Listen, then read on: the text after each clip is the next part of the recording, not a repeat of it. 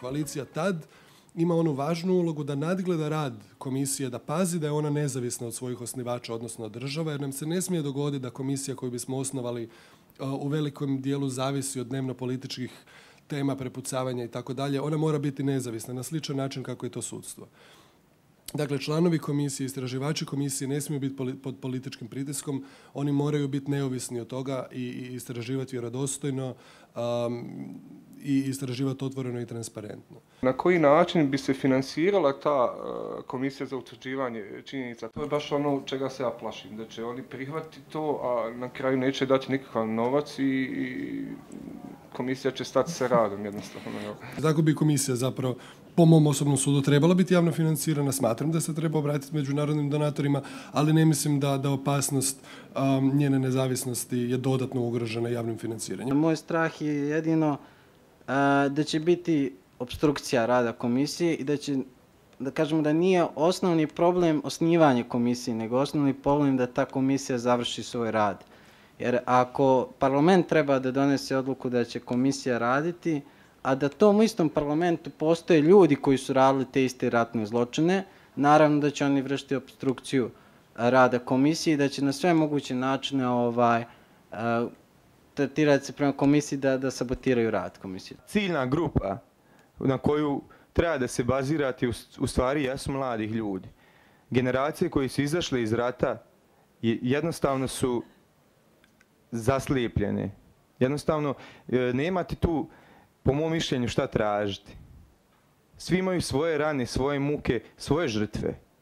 Za njih tuđe žrtve nisu, nisu žrtve o kojim one razmišljaju. Jednostavno, žele, žele da nađu, nađu mir, ali u nekom, u nekom svom domenu svog nacionalnog, nacionalnog a, okruženja. Tako da oni će se jednostavno boriti čak i da zaštite, zaštite lica koja su, koja su prouzrokovala prouzrokovala smrt drugih ljudi ili genocid na drugim, drugim stranama.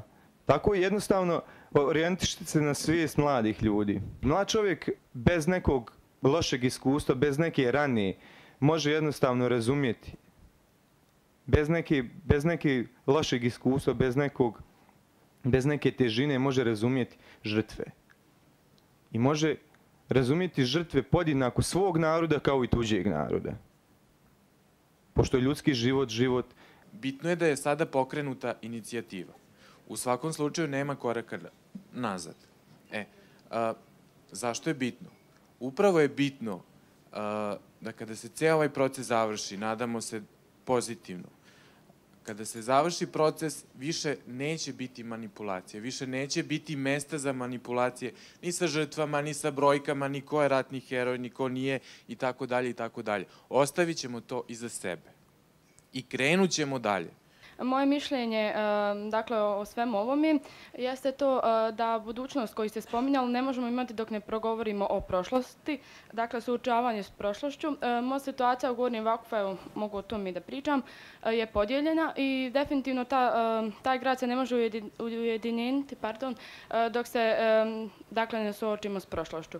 To, to je jako bitna karakteristika po mom nekom sudu i podržavam definitivno ovu organizaciju REKOM i nadam se da će uroditi plodom. Koalicija za REKOM će dobiti podršku u BiH tamo gdje, od onih udruženja koji su žrtve. U, u Prijedoru će bošnjaci podržati REKOM, Srbi možda teže. Isto ne znam sad, ne znam zločine e, bošnjaka dole u, u Konjicu gdje li je već bilo, znači dole će ovaj, bošnjaci možda biti protivnici Rekoma i tako dalje. Recimo ta uh, svjedočenja iz Knina čuju ovisi o godini o kojoj se radi, ali čuju u Beogradu, a, čuju u Banja Luci, čuju u Zagrebu. Ovaj, da se svjedočenje iz stolca iz prozora čuju u Zagrebu. Da se svjedočenje iz Vukovara čuju u Beogradu, Nišu, tako dalje. Naravno, postoje prioriteti. Nije toliko ključno da se u Zagrebu sluša o, o, o Albancima s Kosova ili Srbima s Kosova, ove koji su žrtve. Ali ključno je da slušamo o stolcu. Ključno je da slušamo o, o um, 95. Ključno je da slušamo o, o žrtvama koje je hrvatska strana, ne samo HVO, nego i HV, um, proizvela, zapravo koja je učinila žrtvama u Bosni i Hercegovini. To je ključno. Da, da taj glas žrtve, da ta platforma ima svoj, svoj regionalni karakter. Zanima me e, da li se razmišljalo to, e, o tim stvarima, na primjer, s ljudima koji su stradali u, u minskim poljima ili koji su ostali bez jed, jed, par, par dijelova tijela, kako s njima, e, rekom, nastup, e, znači vidi se u budućnosti. A šta je sa ljudima koji su e, ubijeni e, tokom, na primjer, dok su čekali humanitarnu pomoć sa helikoptera kad je padalo, kad su kupili hranu, kako naravno rekom s njima da postupa. Svjedoci, ljudi koji bi mogli reći istinu, oni nestaju. Tako da ako mi pustimo da vrijeme ode, mi nikad nećemo onda doći do ove istine koju u suštini želimo da, da, da postignemo. I ovdje bih htio, znači sad, Eh, iz nekog lokalnog znači ugla, znači u Kozarcu konkretno je primjer gdje preko 80 ljudi je vani, znači da bi se skupili eh, svjedočanstva, bit će potrebno ono širom svijeta, ne znam, na neki način to organizovati. To je sigurno jedan od problema na koji bi trebali misliti. Moramo mi kao koalicija naći i razmišljati također u tom pravcu da je veliki broj žrtava odselio iz, iz država iz kojih dolaze i da moramo naći način kako i njih uključiti u cjelokupan proces, jer oni nose bitnu istorijsku građu u sebi, nisu imali priliku da je kažu, da je iznesu bilo gdje. Također sam član podmlatka jedne političke partije i iz tog razloga sam se javio da kažem da, da ohrabruje danas prisustvo podmlatka ovih, da kažem, dijela, dijela podmlatka nekih političkih partija. I mislim da će ovo biti ovaj, jak vjetar u leđa ovoj koaliciji. Za rekom je politika, htjeli mi to priznati ili ne, ima utjecaj i, i smio bih možda reći i, i vodi politiku najvećih udruženja kako žrtava rata, tako i nekih nevladnih organizacija u ovoj zemlji. Može se primijeti izostanak na ovim konsultacijama i, i u ovim koordinacijnim tijelima možda, bar ovdje u Bosni i Hercegovini, ne prisustvo tih organizacija.